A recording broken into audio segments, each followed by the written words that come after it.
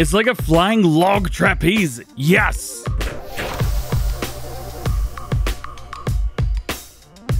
What's going on, everybody? DJ GoHam here. Welcome back to the channel and welcome to new mods for Farming Simulator 19. Today I've got 11 mods for you. For all platforms, we've got 6 new and 4 updates. And for PC and Mac, we've got 1 new.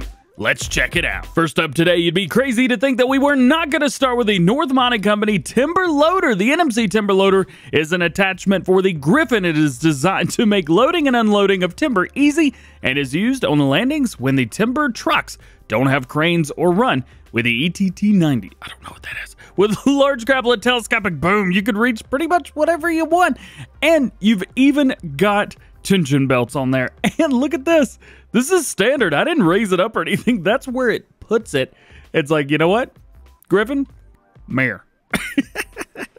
this thing is awesome. Let's go check it out. Let's jump in. Now, I'm going to go in and we're just going to go to brands and North Mining Company, but go to tools and logging equipment. Otherwise, Boom, right here it is. The Timber Loader, super cheap, $15,000. It's only two different things you can do. Main color, you've got a base standard color, which is a little in between Agco and gray. Otherwise, any color in here that you want, any color that you like, you're good to go. I always love seeing that. And then tension belts. You've got tension belts, yes or no, and those are going to be inside the grapple. Doesn't cost you anything extra, $500 for the color. Ba-boom. There you go. What do you guys think about this? This thing is super cool. Controls and stuff, not terrible either. Very easy to maneuver, very easy to understand. Um, you can see right here, we've got the log. Now, you could get up to a certain point. I think it's like right here or something like that, maybe a little bit higher. It actually will like grab it from a ways down, which I was not expecting at all, which I thought was super cool. And we could just let it go, let it do its thing. We could actually unfold this bad boy Boom, just like that. Even take off with this thing. So you could drive it and you could drive it and use it all at the same time. Though I don't highly recommend that. Um, I think the truck's pretty pretty good on its own, but you get a bunch of logs on here, you might run into some serious trouble. So you definitely want to do that. Now, pretty easy way to attach and unattach. Well, you just back into it.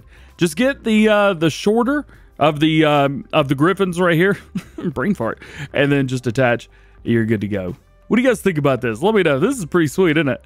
Give me that piece of log. Yeah. Got it. Next up, we have Sheep Husbandry by DD Mod Passion. Husbandry sheep includes a small and large place to keep your sheep, uh, basically like the in-game areas. The wool produced will be placed on pallets or placed on pallets inside of a container. This pack includes the container as well for the load of wool pallets. Pallet can be loaded or unloaded wool only when it is attached to a pallet fork, except the double width ones of the CSZ equipment pack or attached without using a fork or pallets to any vehicle. So you've got compact loader, front loader, telescopic, and wheel loader. Small version's going to cost you 65 grand, and a large version's going to cost you 65 grand as well and they are both seasons ready. Next new mod for all platforms today, Sheep Pasture. This is a smaller object barn for sheep, and you can put it in the game.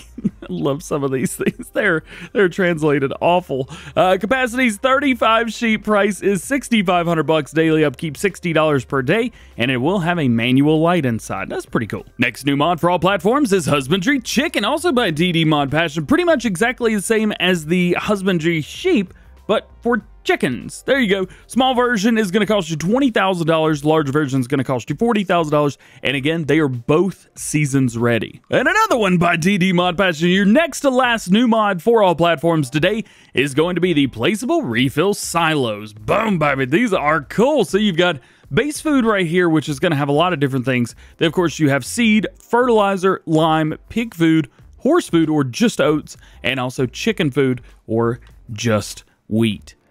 These things look pretty sweet, don't they? Now, we do have some stuff in game like this, but you're probably thinking of the silos pack where the IT, I think it's the IT runner silos. Yeah, this is not that. These are just placeable. You put them down wherever you want. They do charge you a little bit. However, I did jump into here and I filled this up with a thousand liters of seed just to test it out to see what it costs you. And it was only about a $100 more. So it looks like it cost you around maybe, what was it, 10% ish, maybe 5%, maybe even less than that. Uh, so it cost me $1,000 instead of 900 for a 1,000 liters of seed. So it's not great, but it's certainly better than a lot of the other stuff I gave.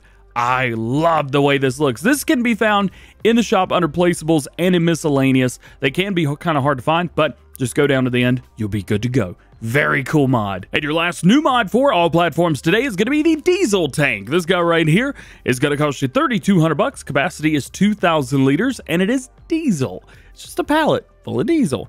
This is going to be good for those of you that maybe accidentally let your tractor run out of gas in the field. I wouldn't know anything about that. Um, so don't ask me, but I imagine there's been more than one of you guys out there that have done that. Well, this allows you to not have to go and get a tank. Because, for example, if we go into tools and we jump into Mist, the first one right here, it's a diesel tanker, this guy right here, but it's going to cost you 8500 bucks and you need a tractor to pull it around. Well, with this guy, you just need a pallet fork, something like that. Or if you got the heavy lift, wee, come on, gimme. You can just lift it up and do it all around if you're on PC. So this is neat. This has a great place. I think this was something that was missing from the game, and I'm glad we have it. Making our way into mod updates for all platforms today. First, we have the Fiat Agri Winner F Series. This is going to be changelog 1.2. Fix the item store data two-wheel drive showed incorrect information.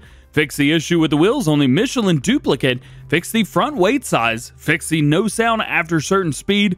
Fix various mesh issues. Also fix the axle swinging, and they've added the F130 Series 2 Fiat riding on Series 2 and smaller tire options as standard. And an update to Goldcrest Valley, changelog 1.0.3, support for seasons, added sheep, added pigs, added horses, added a manure purchase point, added slurry purchase point. Oh yeah, all the good things there. Corrected the sawmill, corrected the levitating cows building. Hey, I like it when buildings levitate. Changed the environment of the whole map, changed the mini map, fixed the or well, uh, railway silos, and fixed visual bugs.